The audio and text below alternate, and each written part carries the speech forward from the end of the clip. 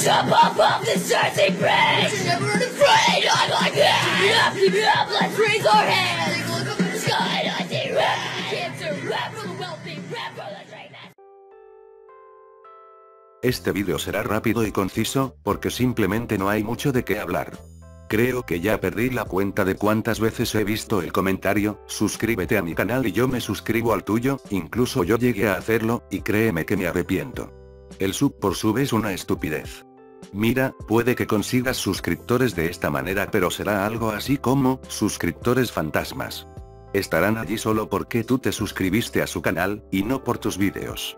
Es decir, que cuando supas un vídeo nadie lo verá, porque verdaderamente no les interesa.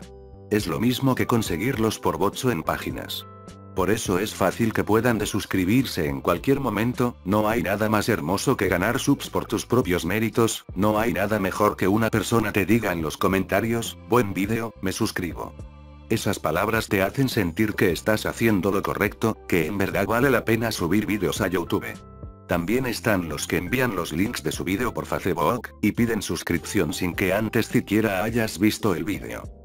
Otra cosa, no pidan subs por subs en los comentarios de un vídeo, porque YouTube de inmediato lo reporta como spam.